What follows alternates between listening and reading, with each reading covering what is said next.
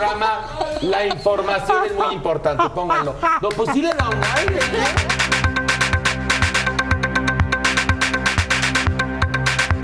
Hola, ¿qué tal? Bienvenidos al Telediario. Adela Macho. Horacio Villalobos. Y estas son las noticias. Nosotros comenzamos. Según nuestras autoridades, el ejemplo que debemos seguir es el de Colombia, ya que es un modelo en lo que respecta a la lucha en contra del narco, es un modelo en cuanto a la factura de las telenovelas y sin lugar a dudas Colombia es un modelo de cómo internacionalizar carne buena y barata. Saludos a Sofía Vergara y a Shakira.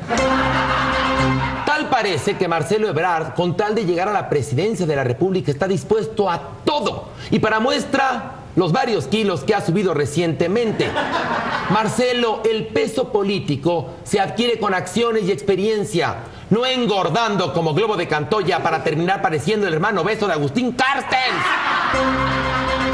En notas de espectáculos, el cantante juvenil Justin Bieber prometió a su mami no tomar hasta los 21 años. Lo que ella no sabe es que Justin conoce perfectamente la diferencia entre beber y chupar.